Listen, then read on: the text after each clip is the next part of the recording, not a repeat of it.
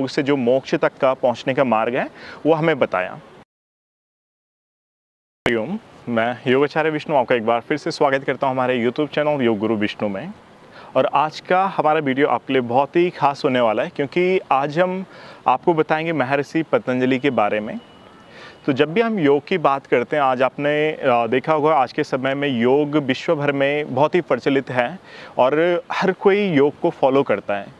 लेकिन क्या आप जानते हैं कि योग की शुरुआत कहाँ से हुई और कैसे हम सब योग कर पा रहे हैं, कैसे हम योग का लाभ ले पा रहे हैं? तो इसके पीछे जो महर्षि पतंजलि, उनकी बहुत ही बड़ी भूमिका रही है, क्योंकि पहले जो, क्या था, जो योग है वो पूरा बिखरा हुआ था। और महर्षि पतंजलि ने जो बिखरा हुआ योग था, उनको एक सूत्रों में, एक जो सूत्रों की माला है जिसको हम योग दर्शन भी कहते हैं तो उसमें समेटा। तो योग दर्शन की रचना करी। योग दर्शन में मुख्य चार जो चार अध्याय हैं, उनमें एक सौ पचानवे यानी कि 195 योग सूत्र हैं, जिनमें महर्षि पतंजलि ने योग के बारे में बताया है, योग की साधनाओं के बारे में बताया है, और योग से जो भी सिद्धियाँ हमें प्राप्त होती है और यहाँ तक कि योग से जो मोक्ष तक का पहुँचने का मार्ग है, वो हमें बताया। लेकिन क्या आप जानते हैं कि महर्षि पतंजलि का जन्म कैसे हुआ और क्या क्या अवस्थाएँ या फिर कैसे, कहाँ पर हुआ? तो सारी चीज़ें हम आपको इस वीडियो में बताएँगे। तो वैसे तो महर्षि पतंजलि का जन्म का कोई प्रमाण नहीं है और नहीं योग सूत्र में महर्षि पतंजलि ने लिखा है कि आ, हमारा जन्म कहाँ पर हुआ और क्या क्या उनके पीछे की जो आ, हिस्ट्री थी और वो सारी इन्होंने कहीं पर भी नहीं बताया लेकिन फिर भी एक कथा के अनुसार आ, एक कहा गया कि एक बार जब भगवान शिव धरती पर नृत्य कर रहे थे तो नृत्य करते करते जब भगवान विष्णु उनका नृत्य देख रहे थे तो उनका इतने उत्साहित हो गए थे भगवान विष्णु कि उनका शरीर देखते ही देखते बहुत विशाल हो गया। इतना विशाल हो गया कि जहाँ पर वो जो उनका जो सवारी है, जैसे जहाँ पर वो विराजमान रहते हैं, उनका जो स्थान है वो शेषनाग पर।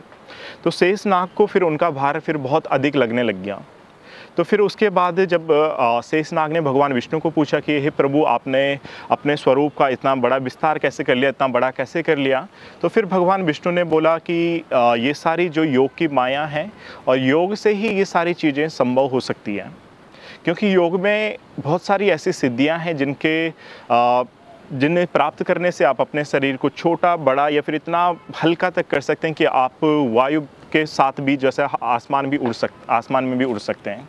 आपने देखा होगा जो भगवान श्री हनुमान जी थे, वो कभी भी अपना शरीर बहुत सूक्ष्म से लेकर और बहुत विशाल तक कर लेते थे और यही नहीं, बल्कि उनको कई और भी सिद्धियाँ प्राप्त थी जिनके जिन सिद्धियों के कारण वो फिर हवा में उड़ने, उड़ते भी थे। तो ऐसे ही कार्य योग में कई सारी ऐसी सिद्धियाँ हैं, जिनके सिद्धियाँ प्राप्त करने से आप कई शक्तियाँ प्राप्त कर सकते हैं। तो फिर जो शेष नाग है, उन्होंने भी फिर योग की रुचि दिखाई और उन्होंने फिर प्रभु से पूछा कि, हे प्रभु अगर हमें, मुझे भी योग सीखना है या फिर मुझे भी वो सारी सिद्धियाँ प्राप्त करनी है तो फिर मैं उन सब चीज़ों को सीखने के लिए क्या कर सकता हूँ?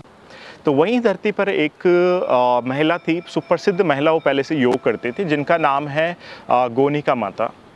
तो गोनिका माता एक बहुत ही योग में उनका पहले से योग करते थे और उन्होंने वो भगवान विष्णु के बहुत बड़े उपासक थे।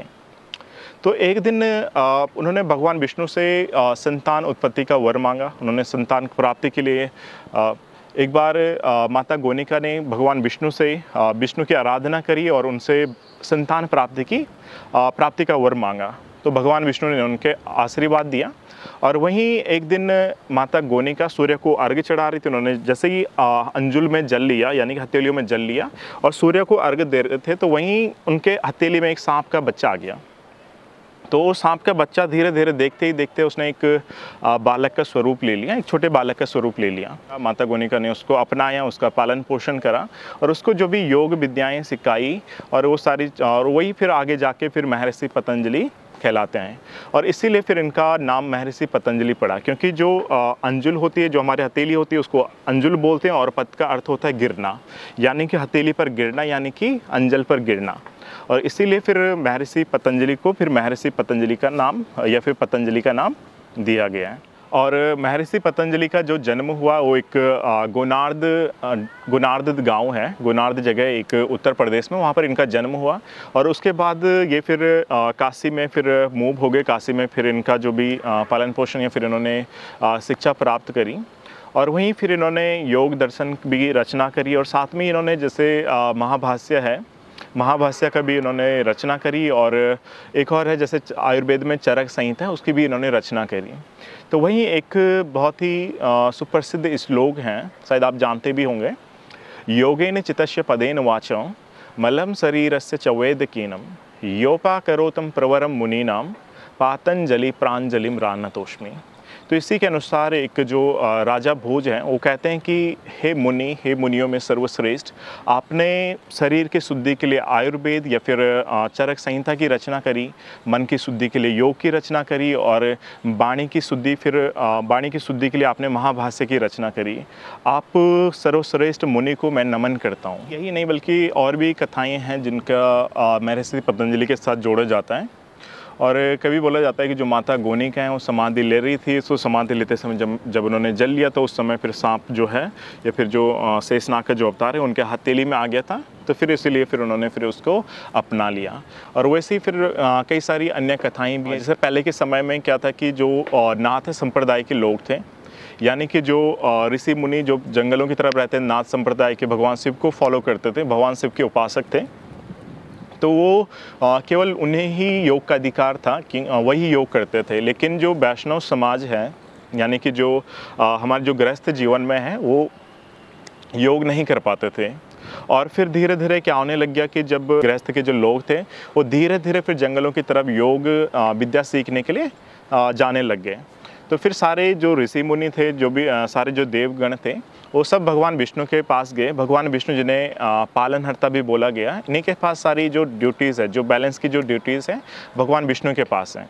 तो सभी फिर भगवान विष्णु के पास गए और बोला, है प्रभु, कि अगर जब सारी फिर अगर नाथ संप्रदाय में चले गए, सारी अगर ऐसे मोक्ष के लिए फिर अगर घर जो घर गृहस्थी है, उनको त्याग करके जंगलों की तरफ़ जाने लग गए तो फिर इस, जो संसार का, इस सृष्टि का फिर, आगे फिर इसका संचार कैसे होगा? तो फिर तभी फिर उसी के बाद फिर भगवान विष्णु ने फिर शेष नाग को फिर धरती पर महर्षि पतंजलि के रूप में फिर भेजा और फिर इन्होंने फिर योग शिक्षा का प्रचार प्रसार किया। योग शिक्षा को फिर एक योग दर्शन के स्वरूप दिया, इसमें फिर जो भी सूत्रों के रूप में दिया और फिर धीरे धीरे फिर योग शिक्षा को फिर हमारे जो गृहस्थ जीवन है, जो वैष्णव समाज को फॉलो करते हैं, उन तक पहुँचाया। तो दोस्तों, ये था आज महर्षि पतंजलि का जीवन परिचय और इनके पीछे की जो कथाएँ हैं और इन्होंने जो जो रचनाएँ करी। तो दोस्तों, अगर आपको ये कथा पता थी तो आप कमेंट में हमें ज़रूर बताएँ और आशा करता हूँ आपको यह वीडियो पसंद आया होगा। मिलते हैं जल्द एक नए वीडियो के साथ। तब तक के लिए नमस्कार।